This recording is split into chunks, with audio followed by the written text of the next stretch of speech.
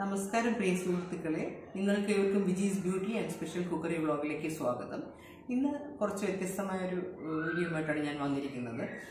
ഇപ്പോൾ നവരാത്രി ആയിരുന്നല്ലോ.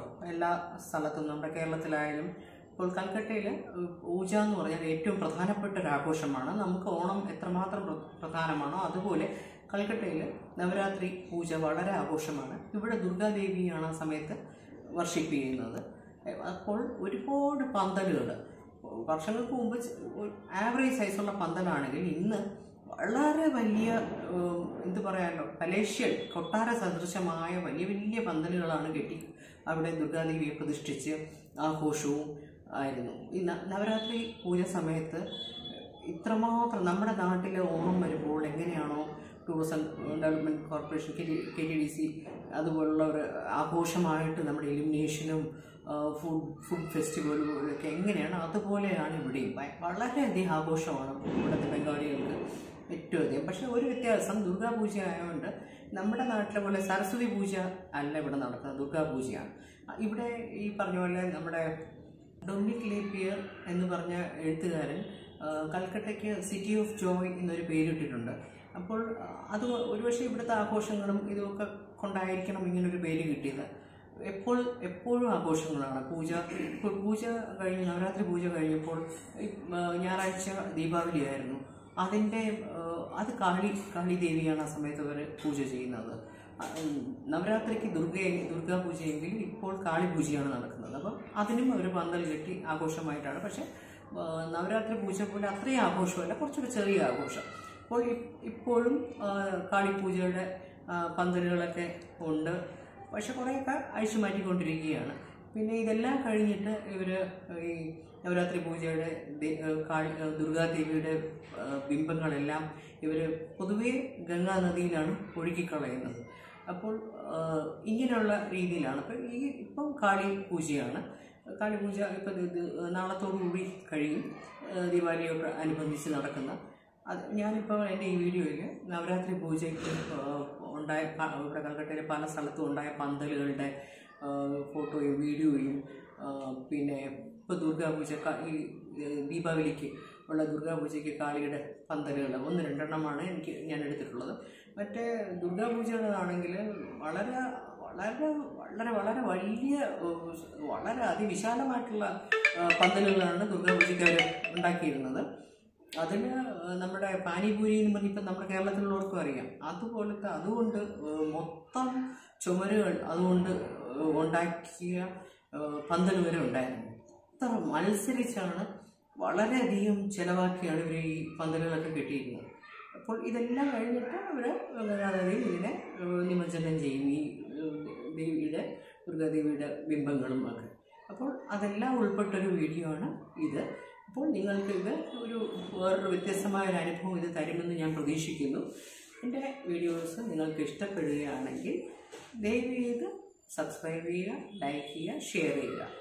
ഇത് എന്നാലേ എനിക്ക് കൂടുതൽ വീഡിയോസ് ചെയ്യാനുള്ള ഒരു പ്രചോദനം കിട്ടുകയുള്ളൂ. അപ്പോൾ നന്ദി നമസ്കാരം. നമുക്ക് വീഡിയോ കാണാം.